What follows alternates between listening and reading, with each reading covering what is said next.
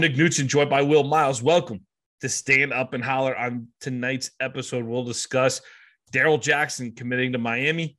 The Gator guard is has been announced, uh, draftable Gators, and we will finish up with some guys that could have an impact in the NFL but might not go drafted. We'll discuss their prospects too. Will, we're recording this the night before the NFL draft. You a draft guy? I mean, a little bit. It more so used to be. Now, now I, you know, NBA playoffs are going on. My kids have baseball, so I will look at it at the end. I can remember in college sitting there like on a. They used to have it on Saturdays, right? Mm. So you'd be sitting, you'd be sitting there all day, sort of, you know, doing something else. But every 15 minutes, Chris Berman would pop up and there'd be a pick. Uh, but now Berman's old, and you know they do it on a Thursday night and split it into Thursday, Friday, Saturday. So, I mean, you know, look, it's exciting to see where all these guys go. Um, at the same time, you know Thursday night's a, a, tough one for for me. Saturday worked better when I was younger. Yeah, I'm just I'm I'm at a point with my uh, fandom with the Jags where I'm just uh, I'm looking forward to uh, who's going to disappoint me for the next several years. That's I'm looking forward to that pick. But I, I'm at the point the NFL draft right now. There's no standout surefire number one pick. A lot of guys that could be picked in there that deserve to be picked highly, right? Go go after someone that can give Trevor Lawrence the support he needs ASAP. That's it. That's my only comment I'll make on the Jags. We'll we'll move uh, on. So we'll, so I, I have a buddy who's uh who's an Eagles fan, and I was asking him who he wants, and he goes, "I don't care. We have two first round picks. I just want them to draft people from the SEC." like, and this is not a guy who went to the uh, to an SEC school. He went to Syracuse. He's from the Northeast. Huge Eagles fan. Born in born in this general area. All he all he knows is I want them to draft people from the SEC. So I thought that was kind of cool. Yeah, they, they like that. Hurts the Smith connection up there, I guess. That little Bama action up there in Philly. All right, let's jump back into college football here. We'll start with two bits tonight. Maryland sophomore defensive lineman Darrell Jackson. He's six foot six, 300 pounds. I, I, I saw a picture of him sitting next to Gervon Dexter. Will that that would have looked like a formidable option up the middle. Uh, ends up transferring after just a year at Maryland, originally from Gadsden, Florida, which is on a panhandle. But he played in 13 contests last year as a uh, reserve, 22 tackles on the season, and on April 7th entered into the NCAA transfer portal. Florida had a couple visits, went down to Miami sounds like Miami before the, he could get back to Florida this weekend really did what they had to do to close the deal. He ends up committing to the Canes uh, a couple days ago here. Um, you know, three star guy coming out of high school on 24 7 sports. Well, it would have been nice to have. It's definitely an area of need. Uh, this is not a make or break commitment here in my mind. No, I mean, so I, I think there's a few things here. One is that um, Florida wanted him right? This yes. was somebody that Napier wanted. This was someone that Florida thought they had, or at least thought they had a good opportunity with. Blake Alderman over at 24 7 was suggesting that essentially there was an NIL deal where the money was kind of equivalent between Miami and Florida. Florida pre- felt pretty comfortable, and then Miami upped the deal, and all of a sudden uh, he, he's with the Hurricanes. And you wonder, you know, Alderman didn't have any information about whether Florida had an opportunity to match. It might have been, hey, you're either taking this or you're not getting it, and that might have been the way that that was sort of presented. And so, you know, hey, um, you got to do what you got to do for your family and for for your finances and all that sort of stuff. I get it. Um, at the same time, I think it does sort of bubble to the front that uh, things have changed a little bit in the NIL world, and and you know that Florida's going to have to catch up. So this is somebody they wanted. It's somebody where they need where they need depth. Obviously, the team was ranked 85th in yards per rush allowed last season against FBS opponents. Couldn't stop a counter against even bad teams, let alone when they were facing good teams. So yeah, I mean, look, it hurts to lose a guy at that position. At the same time, there are going to be other people who pop up at defensive tackle in the next couple of weeks. There are also going to be um, they're they're also I don't think 2022 is really it's not a make or break year for Napier and so transfer portal guys are here for depth they're here to get guys who who buy into the culture a guy who's going to be around for 3 years is nice at the same time if all you're really you know we need to plug holes until we get to a place where we've got high school recruits ready to step in and um, you know Jackson would have helped that, but like you said, I mean, he was he was what like the 717th player nationally coming out yeah. of coming out of high school, three star guy. Um, had 22 tackles last season, no tackles for loss in Maryland. So you're talking, you know, when we look at like guys like Antonio Valentino, Daquan Newkirk, Tyrone Truesdell, like you're probably looking at about the same kind of impact. So we'll see what he does down in Miami. Maybe he turns into a star, but based on based on just the general statistics and his profile, I think you're looking at more a depth piece than you are somebody who's going to come in and be a huge, huge contributor. Now, the most tackles by anyone not named Gervon, Gervon Dexter at uh, at defensive tackle for Florida is Desmond Watson, who had seven tackles last year. Mm-hmm. So, so, from the standpoint of just like a guy with 22 tackles, wow, that's a lot of experience. He played his whole freshman year. Um, so yeah, they need to they need to make some additions there. But no, I agree with you. And you, and you don't again, you don't grade the transfer portal, you don't grade recruiting on one recruit. I think you look at it and you say, okay, missed on this one, can't miss on the next one. And you know, maybe some changes need to be made in terms of how you prioritize. But the other thing is, you and I've been going back and forth a little bit today about how much these players should be worth.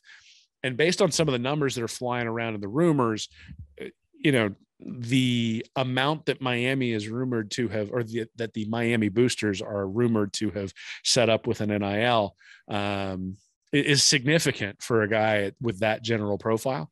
And you know, this is it's going to be a resource allocation business at this point when you think about college football. You you know, it's like buying stocks, right? If all you buy is Apple now, it's really expensive because you can only buy one or two shares of Apple, whereas you can buy a you can buy a uh, you know a small cap stock or a small comp or buy into a small business and potentially make a lot more money off of that at the same time a lot of those businesses go out of business, right? And, and, so there's more risk. And I think that's what people are going to have to gauge as they decide who they're going to invest in when it comes to these different players. You know, are they going to trust their eyes, their evaluations, and that sort of stuff, or are they going to stick with, you know, going after the sure things who are more expensive but are going to give you a more consistent rate of return?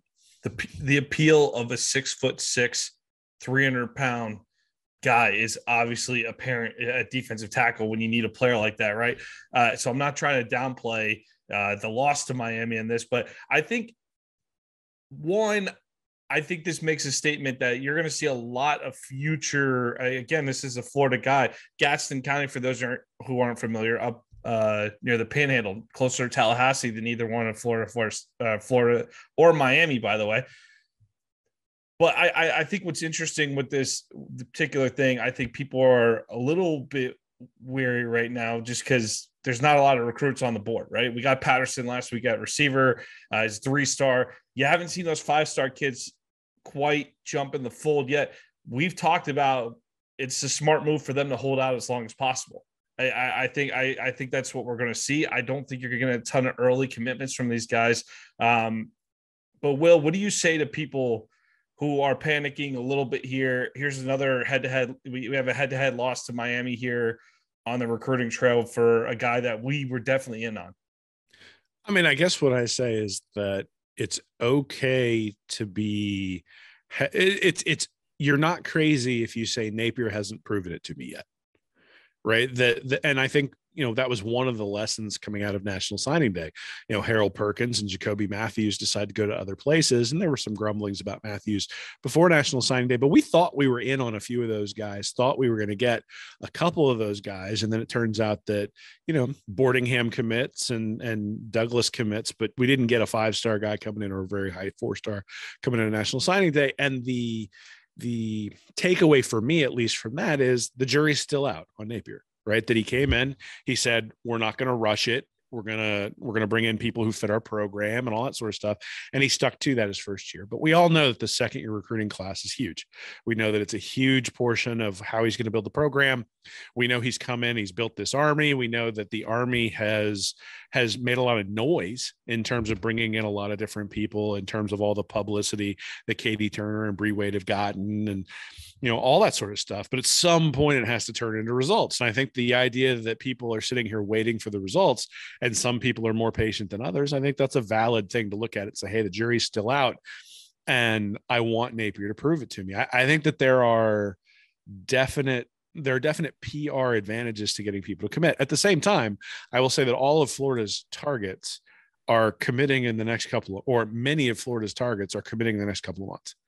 So you know, Cormani McClain and and um, you know some of these other guys, all the corners are, are pretty much going to be committing either May or June, and and when you when you see where those folks go, then I think that'll give you a, a sign as to whether you should be panicked or whether you should still be patient. And you know, look if if there were three five star guys in the fold already, no one would care about the three star defensive tackle who goes someplace else, right? Because it's a perception thing. Mm-hmm. And you know, the three star goes to Miami and the and everybody's Miami friend, friends are ragging on him.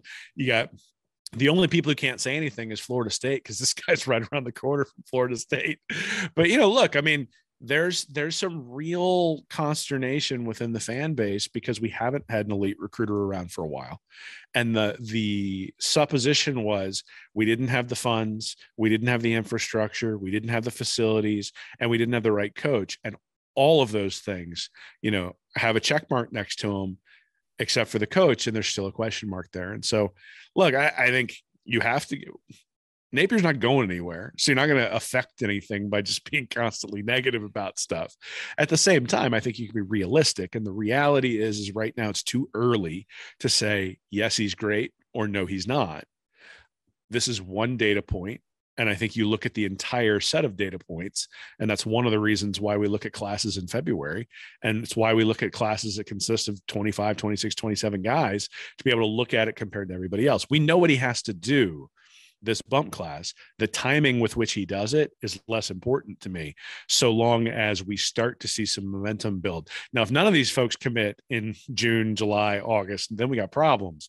But even Urban Meyer, he only had four commits going into the season back in back in 2006. You know, Percy Harvin, Tim Tebow, Brandon Spikes, those guys all committed in either December or January. And so, you know, look, there's a track record for a big class being put together towards the end at Florida. And so, as long as these guys aren't committed elsewhere, I think you can continue to hold out hope. But yeah, I think Napier's got something to prove. You see the investment Florida's making right now. You see the investment Miami's making at the moment these two schools see themselves as elite in football, whether or not the results have been there of late, will. They're trying to get on the level with the Alabamas and Georgias of the world off, off the field as well with the recruiting. Something like this where you lose out, I, I again, it's one recruit, three star guy. But does the losing out to the Miami aspect of it carry extra weight here that people are kind of looking at two programs that are trying to reset their footing in the recruiting world and and be on the up and up hey, we lost out to those guys. You know, it's one thing if we lose out to Alabama or Georgia, who are, are ahead of us at the moment, but we're losing out to the, the, the guys that are supposed to be neck and neck with us. Is that is I mean, that a little extra weight on this right now? Do you think that's? I mean, the fact the fact that Cristobal's in the exact same situation as Napier, mm-hmm. I do think does rub a little bit of salt in the wound, right? I mean, you sit there and you look at it, you go, why isn't our guy bringing this guy in? At the same time, I mean, again, we have to couch this with if Napier had a guy commit in the 720s, everybody be like, oh, three star Napier, right? like like that. Would, The same people who are upset that he missed out on this three star would That's be the people true. who are complaining about, are the same people who are complaining uh, about Patterson, right? So so there's a little bit of uh, no matter what happens, unless Cormani McClain and that whole list of five stars ends up committing, there are going to be people who are disappointed, which is why, again, we talked about this with basketball a couple of weeks ago my whole thing is we need to set expectations. And then when the reality doesn't meet the expectation that's when we get upset and have a conversation. So my expectation is is that there's going to be at least one five star by the time the season kicks off and that there are going to be three five stars in this class by the time the class is at the end. Those are my those are my expectations. And if the reality doesn't match those expectations then i will say okay it's time to have a discussion about why we weren't able to meet those expectations.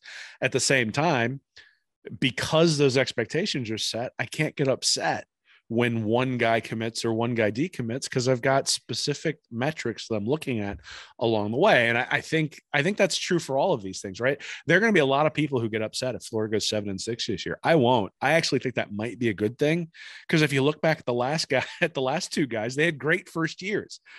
And I do wonder, especially with Mullen, the stuff at the end where sort of the culture seemed to be kind of rotten. You know, is that because there was early success and people didn't have to buy into the discipline that's necessary and the hard work that's necessary in order to be elite because they were going 10 and 3 and 11 and 2 and had a guy like Kyle Trask to bail them out is that one of the reasons why things sort of went downhill at the end for both the McElwain and the Mullen era? I think there are other reasons, but there's no reason Florida should have been seven and six last year or six and seven, whatever we were last year. There's no reason Florida was more talented than many of the teams they played. Recruiting was not the reason that they were losing those games. It was a lack of discipline and a lack of execution. So I go back to what are my expectations for the 2022 season, and I and we're going to set that before the season starts and say these are the expectations. This is what we want to see, and it will. And if I go 12 and 0, I'm one, I'm being unreasonable, but at least I'm setting an expectation that if he goes 10 and 2, I can say he didn't do a good job. You can argue with me about whether whether that's reasonable or not. It's not, but at least I've set an expectation. So that's the only thing I'd ask. I'd ask for fans, look, you can complain about this transfer going someplace else. I get it. I understand the reticence. I understand the I want to see him prove it. And it's been a decade since we've had a good recruiter and and all that sort of stuff. I get it. At the same time, set my expect set your expectations. Like, what are your expectations from the transfer portal? Is your expectation that Napier is going to get every single guy that he goes after in the transfer portal? Because if that's your expectation, it's unreasonable. If your expectation is, and and the other thing is, is we haven't even touched on this at all, but resource allocation is important. You spend money on one person, or if the NIL, if the collectives spend money and commit money to one commit, that means they don't have money to commit to somebody else. Um, especially the way these collectives are being run at Florida, where they're actually funding it before, you know, before they write these deals. And so you know, look, you got to figure out who do you want to allocate money to and where do you say no? Same thing if you're buying a car, right? You walk in to buy a car and you've got a certain dollar amount you're going to pay for that car and you make a decision. And if the if the owner of the dealership won't give you the deal, you walk out, right? Because the amount of money you have to give up in order to get that vehicle isn't worth it. And I, and look, uh, the money is in here, so I guess we have to treat these guys like commodities. But that's the reality: is that the NIL now is just sort of bringing to light, percolating to the surface all of the transactions that were going on behind the scenes. But the other thing is, is that it brought out folks who might not have contributed when it was under the table stuff, and now they're happy to contribute because it helps the program, and so the money is getting bigger and bigger and bigger. And how that's allocated is going to be fascinating, but it's a it's it's a it's a resource allocation problem that I, to be honest, especially in the portal early on, I think I'd rather a coach be conservative than overspend, overspend, overspend, and kind of set the market and then not have anything left when a truly elite guy comes free. Well, and that's something we talked about today and our back and forth we had on text there.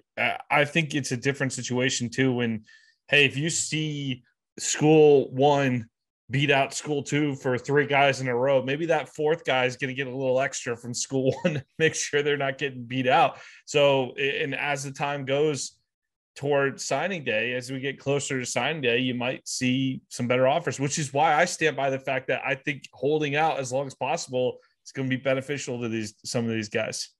Yeah, we'll see, man. There's a bunch of these yep. five stars who are recruiting pretty soon. Um, there, there's no reason why the collectives can't have the NIL deals drawn up for these guys in June and July, just like they will in December. You know, say, hey, put your best offer on the table and I'll take it in August or September. Um, you know, and, and the reality is, in some ways, this will probably prevent flips because once you get that NIL deal, you get all the best NIL deals on the table. You know, you can't, you can't. That's a good point, too yeah. You know th- there's there's value in having a contract on the table that somebody says yes i'm going to take this. It makes it a whole lot harder than just a verbal commitment where all you got to do is send a text that says respect my decision. Like nah you know you you you sort of said put your best deals on the table and you decided to take this one. I'm not going to respect that decision all that much because you're now going back on your word pretty significantly and everybody sort of saw all the stuff above board. So I, I think there'll probably be less flips and i think what's going to end up happening is a lot of the collectives are going to have these deals that are on the table and probably even somewhat public in some respects to to sort of you know push guys into making a decision. That's a good transition into four big bits here. Will let's talk about the Gator guard.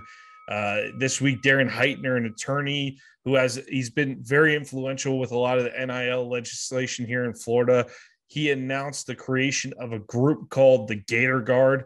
Gator Guard is essentially if the Gator Collective, the way I'm breaking it down, Will, is that if the Gator Collective are the people who buy tickets to go to the game, the Gator Guard are essentially those bull gators sitting up in the boxes, right? They, these these are the big mega donors. Hugh Hathcock, who announced a, a large gift to the school this week, he began the the fund here with an initial $3 million investment. This, these are targeting big money folks.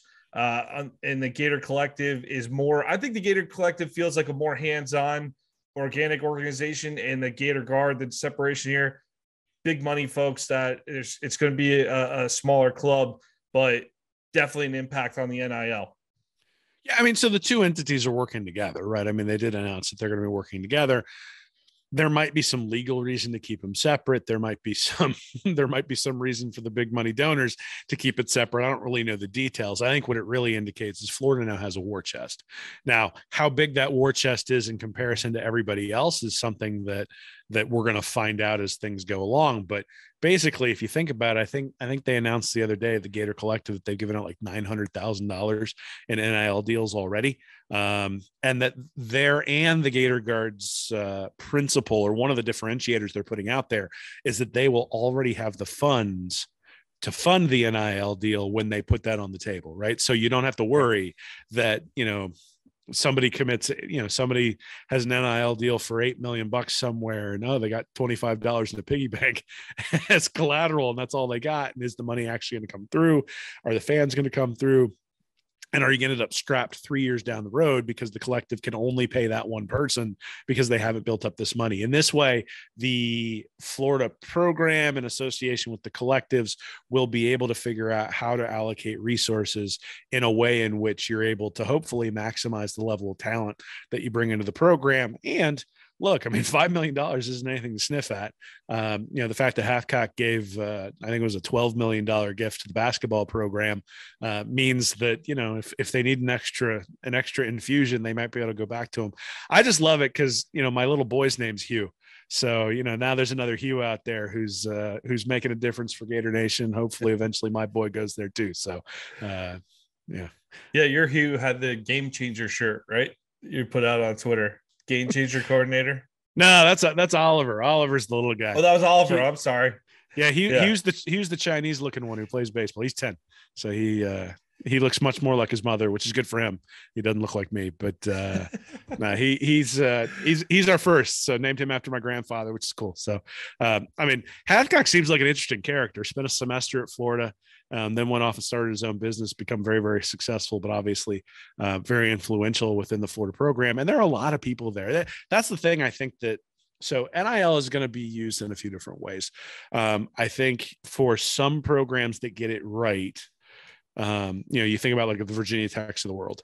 If they can do it right, they can build a program that's built off guys who maybe don't get very large NIL deals, and then go after a quarterback right? So you find, so you think about Virginia Tech in 1999, they had a defense that was built essentially on three star prospects out of Virginia Beach, um, the Richmond area as well. That's sort of where they recruited those guys, bring those in, a strong running game, strong defense, build that team into a team that goes basically, you know, nine and two, nine and three every year.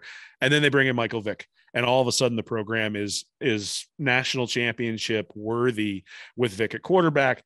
Tyrod Taylor a couple years later, and the program is almost there. They almost got there, but Taylor wasn't quite good enough to get them there. Um, on a consistent basis, those sorts of programs I think might benefit because they could get a large enough, um, a large enough contract for somebody like a Michael Vick or somebody like that to get them to go to a place like that. I think about Syracuse with Donovan McNabb, if, you know, decades ago now. Uh, that that'd be probably a good example as well. And then you have the programs like Florida and Alabama and Tennessee and, and basically the SEC, everybody but Vanderbilt. And these programs should be able to really tap into their alumni network, tap into their history, tap into the conference and all that sort of stuff and they're going to have a distinct advantage over other teams, right? Ohio State is going to have a distinct advantage over everybody else in the Big Ten, except maybe Michigan. Um, Florida should have an advantage, quite honestly, over Florida State and Miami, just because of its alumni reach and its alumni size. I actually am very curious. You mentioned it before we came on. UCF, or I'm sorry, Central Florida is uh, Central. Central Central is you know that's a big school, and the question becomes how many people from that school are going to become wealthy and wealthy to the level that they're able to compete with Florida. We'll see. Obviously, they're in a big conference now, or at least until until Texas and Oklahoma leave. They're in a big conference, and uh, you know we'll sort of see where that goes. But Florida, I think, is very well positioned because of its alumni base, because of its history, because of the conference that it's in, to really take advantage of this sort of stuff. And I think the Gator Guard is the first avenue towards that. Um, I'm not a huge fan of these collectives, not necessarily not because I mean they're necessary within the NIL. I would rather the players be getting paid.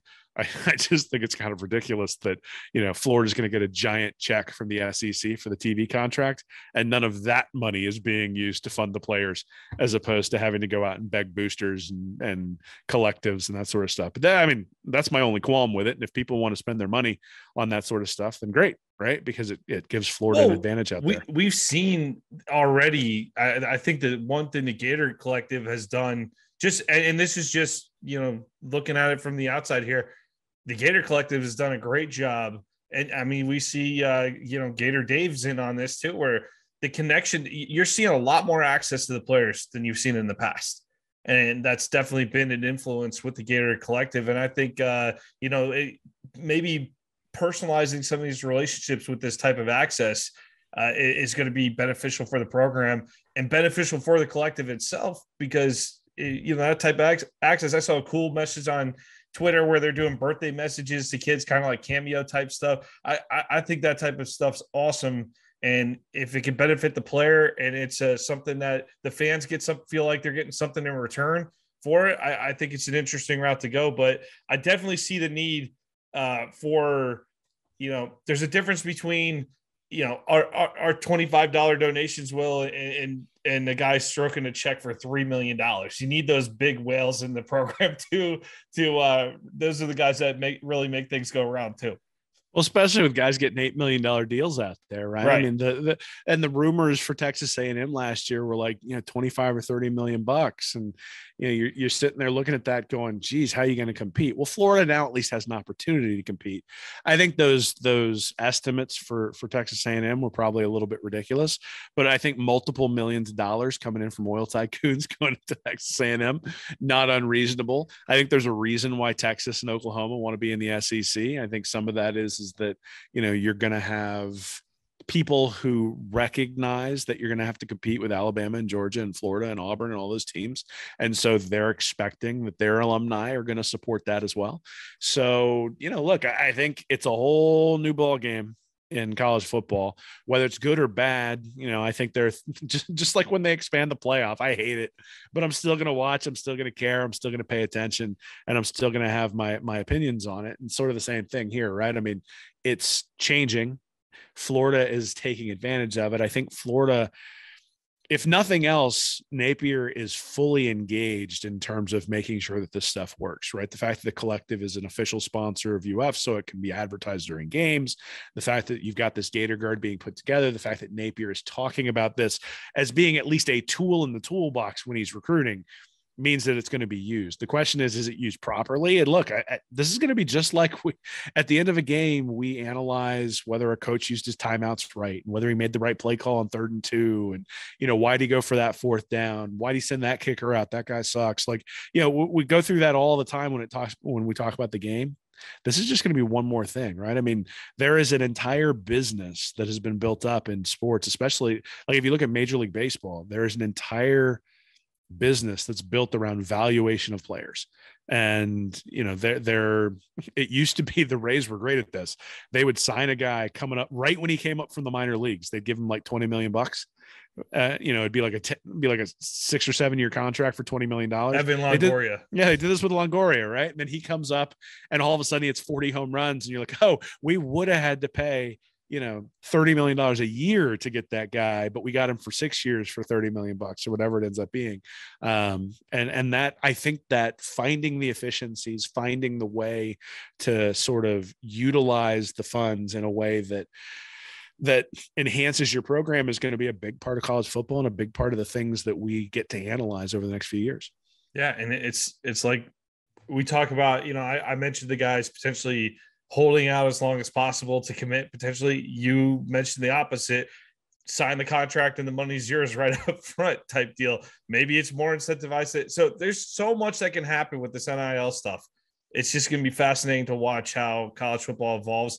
And and for people who out there who are just decrying it as a bad thing right away, ultimately the players are getting paid. They have more agency. I think this is going to be an interesting change in the sport. It's going to be an evolution to the sport. But let's not pretend like we haven't been on this path for you know you go going back into the 1980s when you're fighting battles to get on TV. The money started coming out, and uh, you know this isn't Woody Hayes making thirty five thousand dollars a year anymore, folks. You got no, college head coaches making ten million dollars here. It's a different it's a different day and age. Why shouldn't the players be able to partake? And I think the direction Florida's heading, they're being proactive.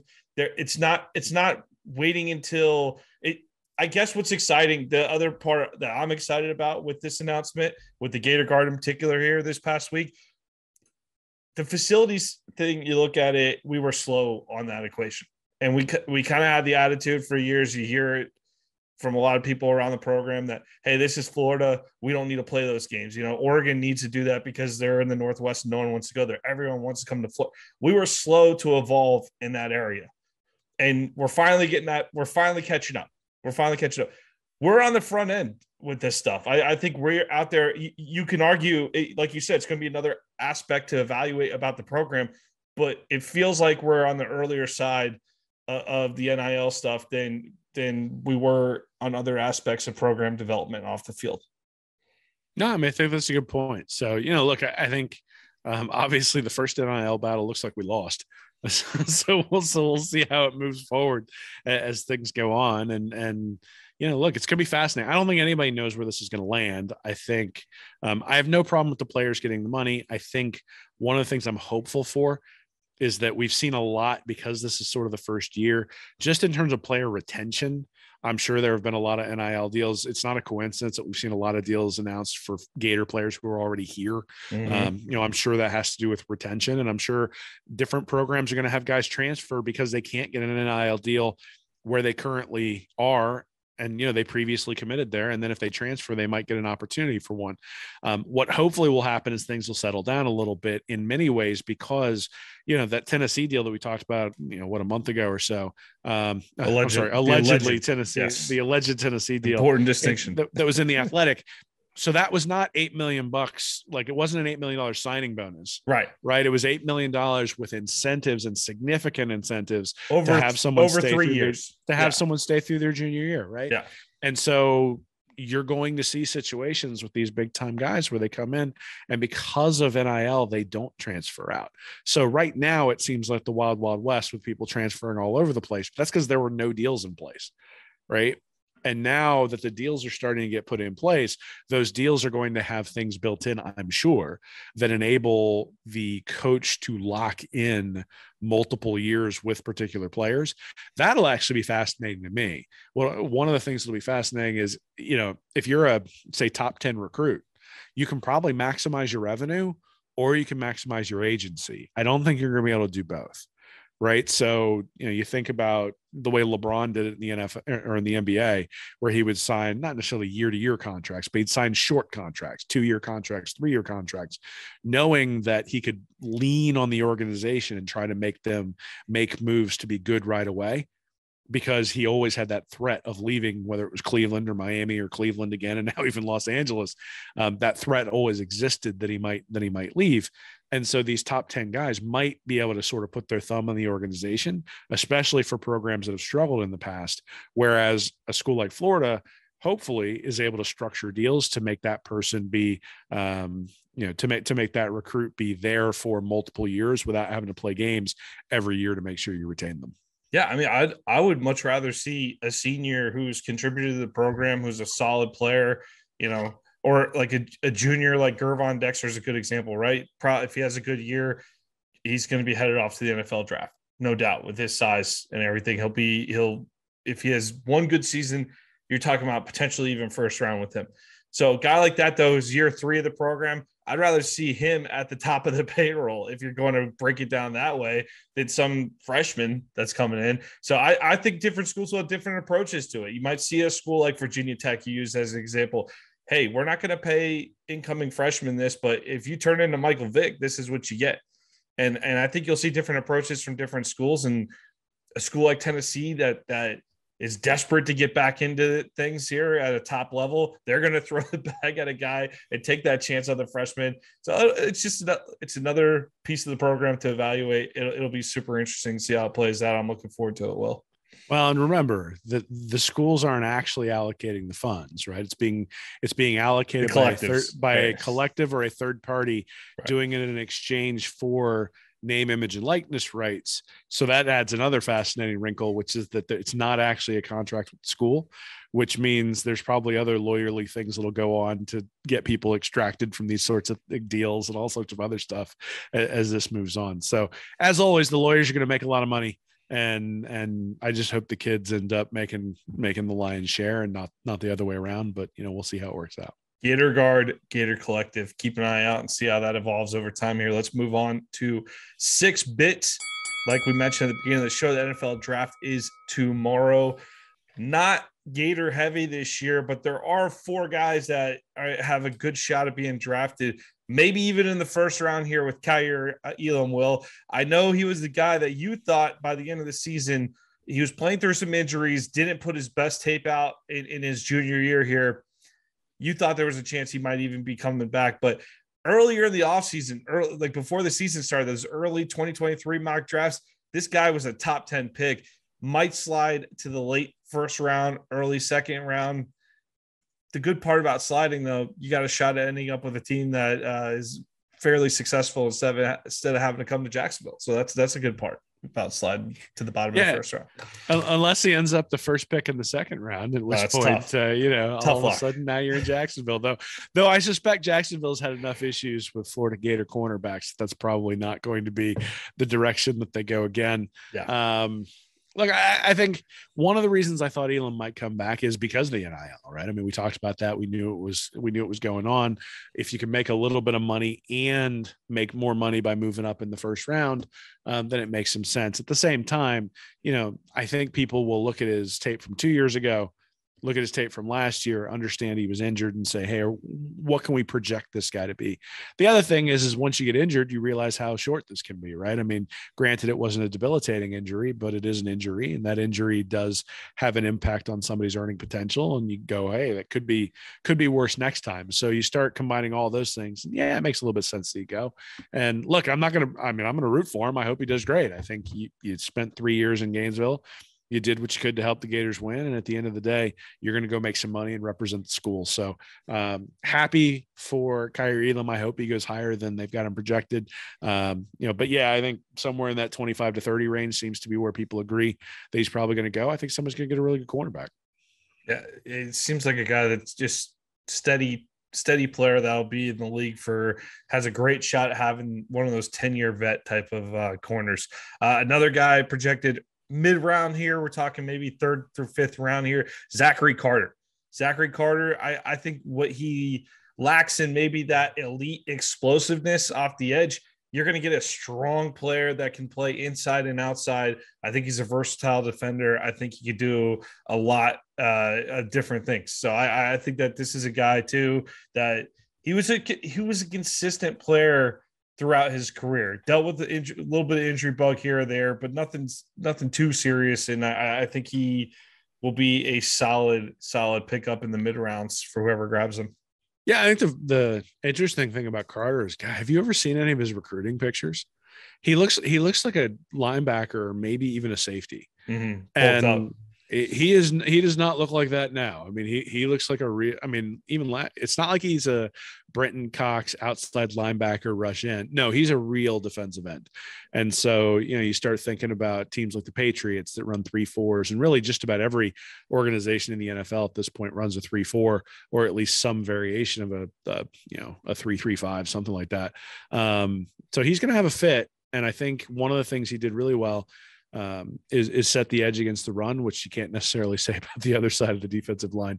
And certainly the other thing that he did a couple of years ago, specifically when Kyree Campbell was out, they were able to slide him inside. he was still able to get pressure up the middle. So I, I think one of the things that NFL teams are going to see is that versatility and a guy who's big enough that he can hold up on the inside of the defensive line. You think about the Giants when they were taking on the Patriots in those Super Bowls with the four defensive linemen who were able to give Tom Brady fits. Um, you know, that's a valuable commodity to have a guy who can be an outside rusher, but also then can move inside and make room for a more explosive outside rusher on third down when you know the defense or when you know the offense isn't going to run the ball. So that's a place where I think Carter will probably be able to find a fit. I don't know that he's necessarily a four or a three down, three down defensive lineman, at least not yet. But you look at his progression, like I said, from the picture he was when he came in the door to where he is now, and you go, okay, well, if this guy continues to progress, um, what are we going to see? And certainly, he is a story of coming back to school and making yourself some money because he's probably, I would guess, an undrafted free agent last year comes back and now he's going to be, you know, maybe a third, third round pick. So going from being undrafted free agent, making the minimum to making a couple of million bucks guaranteed, I think, uh, you know, wise decision to come back to school. Yeah, won't be won't be a superstar guy, but definitely a good team guy and a solid contributor in the league, which is what you look for in the middle of the draft. There, uh, another guy going in the middle of the draft that I think third rounds maybe high for him, but you're seeing kind of fourth or sixth is Dameon Pierce. Pierce might be a sleeper here. Might be a sleeper in this mid round pick. If he goes to the right team, gets an opportunity early in his career, just a strong running back. I, I mean, the, the, the run against Florida State, that's an all time classic without the helmet, finishing without the helmet. That tells you everything you need to know about the guy's attitude on game day. Um, was a player that a lot of Gator fans feel like didn't get the ball enough. The good news for Dameon Pierce on that front is that means he didn't have, he, he comes into the draft here with not a lot of mileage on him. So you're looking at a guy who maybe averaged seven carries per game. Even though there's a lot of critique around Dan Mullen uh, about that topic last year, that's the trend in the NFL. Outside of Derrick Henry and some elite running backs, you see a lot of teams working a lot of different backs throughout the year. I mean, good luck. I, I don't know why anyone drafts New England running backs in fantasy football. I, I know a couple of them have a good game here or there, but you're going to get maybe like three ga- good games max from a New England running back in fantasy football because they rotate those guys through. So I think Pierce could be a nice asset. I would love to see him end up with a team that's got a shot where they just need that one extra piece in the rotational uh, in the rotation for the backfield. I would love to see him in, in you know some somewhere like a Green Bay or something like that. Yeah, I mean, so look, I, I think Pierce is going to. Um, I think there's a bunch of things teams are going to look at. Certainly the the lack of wear and tear, even though he spent multiple, you know, even though he was here for four years. I think the toughness that he ran with on the inside. I think uh, you know even even the last couple years he really showed an ability to catch. I think more than we thought he could um, to start with, and he he did have a little bit of explosiveness. I mean, if you remember his freshman year, he busted off a big run against Tennessee, a couple other big runs with in limited carries. So does have a little bit of explosiveness, though not necessarily like explosive top end speed. I think the big thing that people are going to look at is just the level of gratitude that he that he exudes. Like, you know, the the attitude he could have been a guy who complained they didn't get the ball enough. He could have been a guy who's grumbling, but he's the guy you saw yeah. out there mingling with the fans after road games, going out and saying thank you after his last game in the swamp, all that sort of stuff. And I'm not saying other guys didn't appreciate it, but Pierce was one of the more visible guys who was always out there during the alma mater and all that sort of stuff. And, you know, look, that's hokey and you don't have to do that stuff to be an excellent football player at the same time in in a situation where you're trying to you know if there's a tie between him and another running back i think you take that into account and say look it's i'm not going to have to worry about my culture if i have this guy in there. He's not going to complain if he doesn't get carries. If i make him do special teams work he'll do it. If you know if um you know, it, I'm not going to have to hear him grumbling about practice or reps or any of that stuff. Um, you know, hopefully he'll deal with that in a way that's on the up and up. And I think that makes a difference. I think Pierce really impressed me last year with the way he handled things, particularly when you looked at the way some other people handled things um, as, as things sort of went south. I think Pierce really, really, really showed well from the standpoint of just, you know, a culture and a character thing. Yeah, he certainly was not one of the issues last year. Uh, I, I could throw a couple names in here, potentially draftable, but let's move on to a dollar here. We'll, we'll talk about the undrafted, uh, potential undrafted players that could have an impact. Will, I've seen in multiple mock drafts here, I've seen your boy Jean Delance get drafted late in the sixth round. People like his frame. Uh, he had good reviews after his pro day workouts this past off season here. So could someone take a late round flyer on the guy, give a give him a shot potentially. Um, the other guy that I've seen uh, in some mock drafts here is Jeremiah Moon. I mean, we saw that him work out in Indy will, and we both were like, man, that guy, that dude looks great in a workout there. That no issue. That guy definitely looks like a football player. And when we we've seen him stay healthy, he definitely plays well. He's an interesting guy for the NFL though, because he's a little bit in between what you want. You you think maybe a team would would draft him with a very specific purpose in mind. So he might be a role player early on in his career, but if he were to get drafted, they would probably have him pegged for something very, you know, maybe they have an interdivisional matchup with someone that they feel like we'll put Moon on that guy when we play. But I, I think Moon is definitely draftable. Delance, I could see the later on flyer. That's about it in terms of guys I see getting drafted from this roster this past season. Yeah, I mean, I guess so. I, I think one of the problems I have with both of those, I mean, you said it, I was a defender of Delance, but that was more of a matter of there's nobody better to put out there than it is. I'm really impressed with the way he's doing things. And he was good last year until, or he was much, much better last year till, till he got dinged up there about halfway through the season. Uh, but look, you look at the on-field production of a guy like Delance, you look at the on-field production of a guy like Moon, and yeah, they might have a great frame and they might have great athleticism, but the on-field production is not there. Um, if I were a team and there was a guy I was going to think about drafting, um, and I don't think he'll get drafted, and I think it'll end up being an uh, you know an undrafted free agent. I, it's Malik Davis. I think mm-hmm. Malik Davis is a guy I look at for two reasons. One, same thing, not a lot of not a lot of wear on the tires, um, just like we talked about with, with Dameon Pierce. Certainly more injuries than Dameon Pierce, but before the injury, he averaged 6.7 yards per rush and was Florida's best player back in that 2017 season. He gets injured he was less effective, but he just averaged 5.3 yards per rush, which was a 0.6 yard per rush improvement over 2020. He appears to be getting a getting back to to full health but he also only caught just 16 passes his first his first three seasons. And then the last two seasons he's caught 54 passes. And i'll tell you a running back who can pass protect and who can catch the ball out of the backfield is going to be valuable in an yep. nfl system. I mean just think about think about white for new england. You mentioned new england's running backs. He's the only one who's worth worth a fantasy pick right? Is the guy who can catch the ball out of the backfield. So you think about like let's say Tampa decided to take a Malik Davis. Do you think that uh, Tom Brady'd be able to find a way to use him coming out of the oh, backfield? Yeah. I think yeah. he could. The other thing is, and I, you think about sort of his stature, the way he moves, his ability to catch out of the backfield. The guy he reminds me of is Le'Veon Bell. And so I went back and I looked at Bell's stats at Michigan State, and other than just usage, they're really close to Malik Davis.